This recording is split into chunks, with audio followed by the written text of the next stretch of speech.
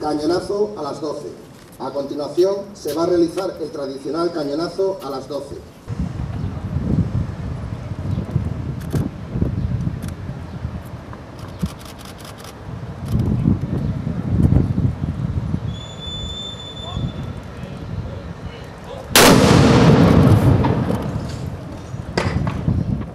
Ya desde el siglo IX, todos los reyes han participado en la Reconquista le otorgaron este honor y establecieron el voto de Santiago, que consistía en que las tierras conquistadas debían hacer una ofrenda obligatoria de bienes en la Catedral de Santiago de Compostela, en agradecimiento por la intercesión del apóstol.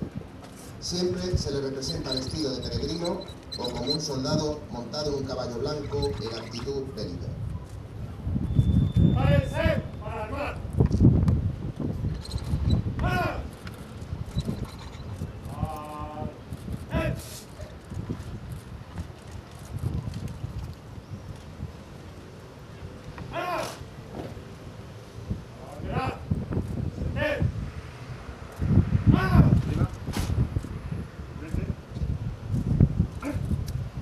A